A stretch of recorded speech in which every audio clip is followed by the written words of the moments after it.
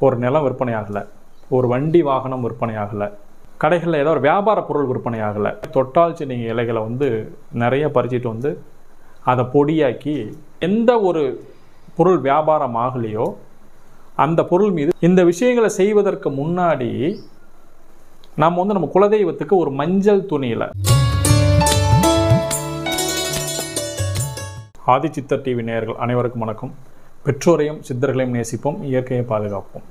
இன்னைக்கு மக்கள் தேர்ந்தெடுத்துக்கூடிய தொழிலில் நிலம் வியாபாரம் பண்ணுறதும் ஒன்று மிக முக்கியமாக இன்றைக்கி வந்து ரியல் எஸ்டேட்டுன்னு ஒரு விஷயத்தை பண்ணிகிட்ருக்காங்க இந்த ரியல் எஸ்டேட் தொழிலில் வந்து பார்த்திங்க அப்படின்னா நிலம் நல்லா வித்துருச்சு அப்படின்னா அவங்க தப்பிச்சு வெளியில் வந்துடுவாங்க நிலம் விற்கல அப்படின்னா அவங்க தொழிலே வந்து முடக்கமானதாகி போயிடும்.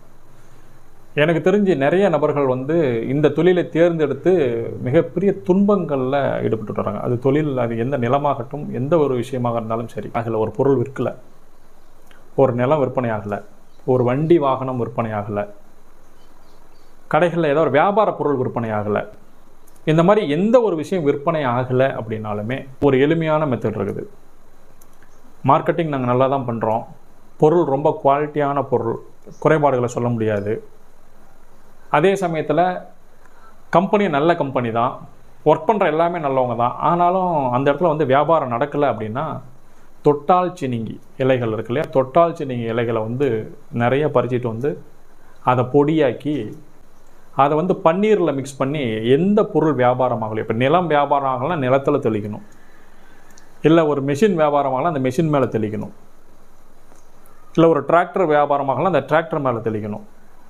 இந்த மாதிரி எந்த ஒரு பொருள் வியாபாரம் ஆகலையோ அந்த பொருள் மீது தெளிக்கணும். தெளிச்சிட்டு வந்தீங்க அப்படின்னா நிச்சயமாக அந்த பொருள் விரைவில் வியாபாரம் ஆயிரும்.